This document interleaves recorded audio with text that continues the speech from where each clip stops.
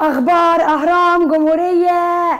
هاي ازيكم يا جماعة؟ أنا آية والنهاردة أنا جايبة لكم حاجة جديدة. طبعا أنا دايما في الطبيعي كل حلقة أنا باكل فيها حاجات غريبة قدام الكاميرا. حلقة النهارده هكلمكم عن أكل عمري ما هعرف أكله قدام الكاميرا.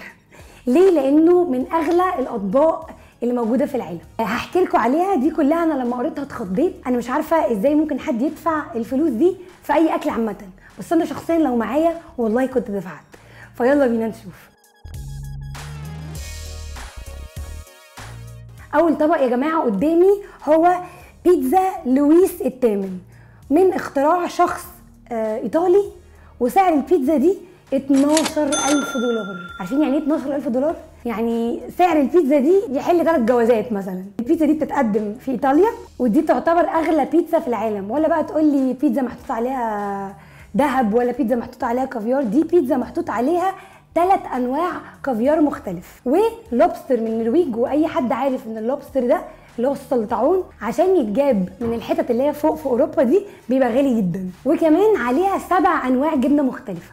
وأنا متأكدة برضو إن السبع أنواع دول جبن مش رخيصة. بس أنا عايزة أفهم يعني أنا لو هجيب حاجة زي كده أنا هبقى محتاجة بقى فاتورة يعني مفصلة تقول لي ال 12000 دولار دول الجبنة بإيه؟ يعني ربع ربع جبنة ب 200 دولار.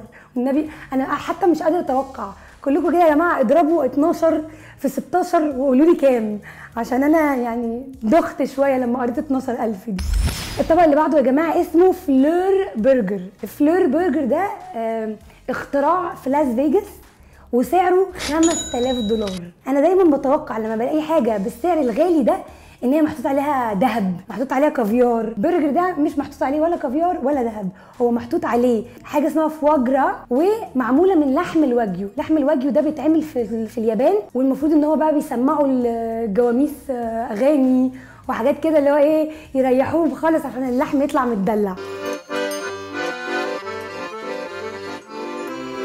وكمان بيتحط على البرجر دهن بط.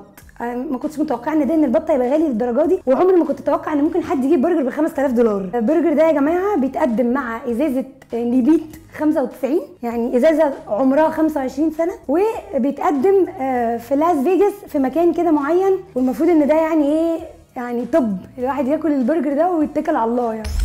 طيب يا جماعة الطبق الثالث هو فشار البليون. هو مش بليون خالص ولا حاجة بس هو سعره 2500 دولار. 2500 دولار يا جماعة يعني خمسة معانا الواحد سبعة معانا 10 يعني يجي كده مثلا 40000 جنيه. تجيب لك كده قسط عربية ونقسط بقى مع بعض. يعني أنا مش فاهمة إزاي ممكن الواحد يجيب فشار ده عادي بنعمله في البيت بمعلقة زيت. بس الفشار ده يا سيدي متغطي بكراميل وكل فشاراية متغطية بذهب عيار ال 23 إيراد. أنا أول مرة أسمع على 23 كنت فاكرة هو 24 يا 18 فدي جديدة شكلهم عملوا حاجة جديدة عشان الفشار.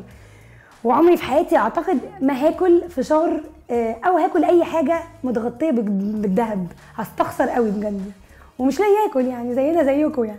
المهم إن هو كمان اللي مخليه غالي قوي كده إن هو مش بس بيتغطى بالكراميل والذهب هو كمان بيتحط عليه ملح غالي جدا من الدنمارك اسمه ملح لايسو.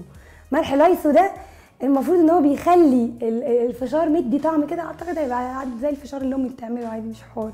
بس هي ناس معاها فلوس مش عارفة توديها فين يعني.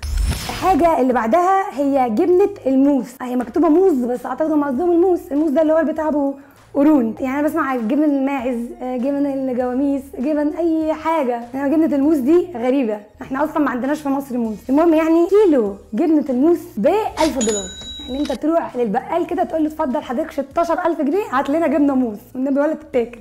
اعملها سندوتشات لعيالي دي ولا أعمل إيه؟ المفروض إن دي واحدة من أغلى أنواع الجبنة في العالم. بتتعمل فين؟ بتتعمل في حتة واحدة ألا وهي السويد. ما هي ناس فاضية. يعني ناس خلاص بقوا بيعملوا فلوس وما عندهمش مشاكل وبياخدوا فلوس كويسة وشغالين. فنعمل بقى ندور على أي حيوان في العالم. فالمفروض إنه الجبنة دي يا جماعة في السويد وما بتبان ما بتطلعش فيه بكميات كبيرة. صعب إنك تروح تحلب موز. بقى وتعمل الجبنة حوارات يعني. وبرده 16000 جنيه مش حاجة قليلة. اللي بعده ده يا جماعة حاجة أعتقد كلنا عارفينها. يعني أنا شخصيا عندنا في البيت كيس صغنون قوي كده من 92 عندنا. الحاجة اللي أنا بتكلم عليها هي الزعفران. الزعفران ده نوع من التوابل في الطبيعي بيبقى معمول في إيران. سعر الكيلو بتاعه من 400 ل 1000 دولار. طبعا إحنا عندنا هنا في مصر الزعفران بيبقى مخشوش بس الزعفران اللي هو جاي صح الإيراني بيبقى غالي جدا. ليه بقى هو غالي؟ المحصول بتاعه أسبوع بس في السنة يطلع. فلازم كميات قليلة وعشان يتباع لازم يتباع بثمنه بفلوس كتيرة. وعشان الواحد يعمل كيلو زعفران لازم يقطف على الأقل 300 ألف زهرة فتخيل ده يعني ده مثلا ممكن نعمل كيلو محصول سنة كاملة. يعني الكيلو ده يتباع عشان كده زي ما بقول لكم والله عندنا في البيت 50 جرام. امي ما بتعملش بيه حاجة. يعني معرفش جابته ليه. تقريبا دخلت بيه. جهزوها بيه وخلاص. الطبق اللي بعده يا جماعة اسمه Grand Velas Taco التاكو ده أكل مكسيكي والمفروض إن التاكو دي ب 2500 دولار. يعني برضه خش لك كده إيه على أقل من 100000 جنيه. بناكل حاجة واحدة. يعني ما الحقش أشبع أصلا. يعني أنا مش فاهمة فيه إيه يا جماعة. الطبق ده مكون من لحم كوبي يعني لحمة من كوبا وكافيار من بلوجا وجبنة سودا مش عارفة دي شتيمه دي ولا إيه. وبيتحط على تورتية التورتيه دي اللي هو العيش التورتيلا اللي إحنا عارفينه. بس عيش التورتيلا ده بيتنقع في الذهب يا جماعة ما- تدهوني. طيب أنا أتصرف فيه. يعني ليه نقعد نستعمل الذهب في أكل؟ يعني أنا ليه آكل أكل ذهب وبعدين إيه؟ يعني ليه؟ يعني ما حلو بيتلبس اهو ما فيش اي حاجة. المهم بيتقدم مع صلصة يا جماعة آه، فيها فلفل برضو غالي جدا اسمه فلفل موريتا. وبيتقدم مع مشروب آه، عيب اسمه مشروب التكيلا فبرضو التكيلا معروفة جدا في المكسيك. وكل بقى ال- ال- ال- الوجبة دي تخش لك في 50000 جنيه ولا 60000 جنيه. اقبل يا عم. شوف بقى الهبل اللي إحنا عايشين فيه. بعدنا بقى إحنا عن المكسيك والسويد والكلام بقى اللي بعيد عننا ده. نيجي بقى على الوطن العربي. نحب بعض ونحضن بعض كده. في يا جماعة محل في دبي اسمه بلوجا. بلوجا ده بيبيع كافيار اسمه كافيار ألماس وسعره 10000 دولار. يعني 160 ألف جنيه. توتو على كبوته وبيحط لك الكافيار كده وما بيحطوش لوحده. لا ده بيحط لك كمان سيجارة كوبي. السيجارة الكوبي دي المفروض إنها غالية جدا. والسيجارة دي حواليها ذهب. المفروض إن هو الكافيار ده من أندر وأغلى أنواع الكافيار في العالم. إيه؟ يعني وبيقول لك السيجار دي بتبقى سيجار ذهبية 34 قيراط. يعني إيه 34 قيراط؟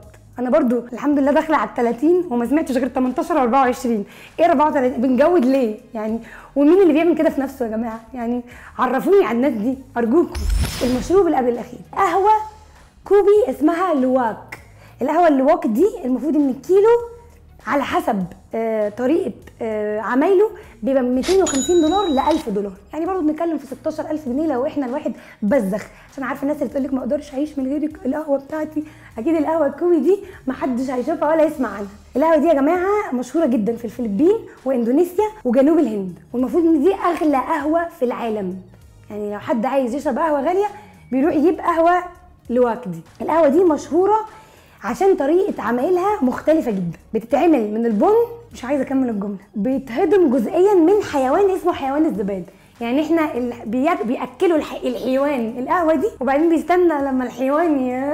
وبعدين يروحوا واخدين القهوة دي ويبيعوها للناس. سبحان الله والله. المفروض إن الحيوان ده شبه القرد شوية. فتخيل أنت تاكل آه، قهوة وبعدين تشربها كده. طيب يا جماعة أنا جالي معلومات من الكنترول إن القهوة دي آه، اسمها كوبي لواك عشان هو أصلا اللي بي ها؟ اللي بياكلها ويا لواك. حيوان اسمه حيوان اللواك. المفروض يعني إنه بياكلوا. وبعدين ياخدوها ويغسلوها ويحمصوها ويغلوها ويدوها للناس. هي فعلا أغلى قهوة في العالم.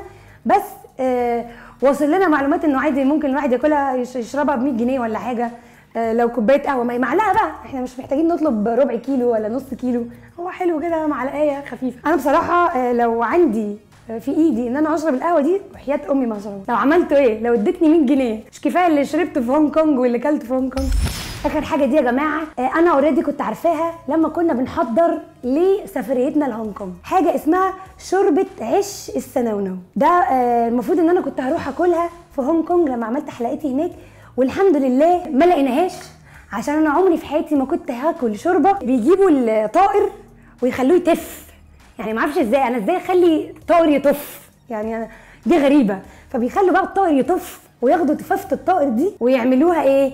شوربة. الشوربة دي المفروض انها اغلى شوربة موجودة في الصين ومن غير اي مكونات تانية. سبحان الله يعني على ذوقهم الرائع. والمفروض انه طبق واحد من الشوربة دي غالي والكيلو بيدي مثلا على 3000 دولار ولا حاجة. يعني إحنا بنتكلم في 100000 جنيه ولا يعني أنا ما بعرفش احسب يا جماعة فما تضايقونيش بقى. المهم يعني إن هو صعب لأن مش كل الطوائر هناك بيعرف بيعرفوا يخلوها يطفوا. يعني ما علينا. أعتقد إن دي ولا أي حد في العالم هيبقى عايز يدوقها. يعني أنا شخصيا لو ادوني فلوس مش هعمل كده. مش هندفع فيها 3000 دولار. صلي على النبي. طيب يا جماعة دي كانت حلقة الأطباق الغالية جدا حوالين العالم. قولوا لي نفسكم تجربوا إيه؟ أنا شخصيا نفسي قوي أجرب ال Fleur Burger وما عنديش أي مانع أجرب البيتزا وما عنديش مانع أجرب الفشار بس مين اللي يشتري؟ أنا مش هروح أقول لبابا والنبي بابا هات لي فشار ب 3000 دولار هتوقد. فيا ريت تقولوا لي يا جماعة يعني لو ربنا كرمنا وبقى معانا فلوس إيه أكلة من الأكلات دي تحسوا إنها حلوة ونفسكم تجربوها ما تنسوش تعملوا subscribe و like و share وتدوسوا على زرار ال notifications عشان كل ما أعمل فيديو يجي لكم يلا باي باي